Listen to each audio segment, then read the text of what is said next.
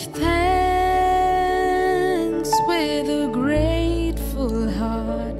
Give thanks to the Holy One. Give thanks because He's given Jesus Christ,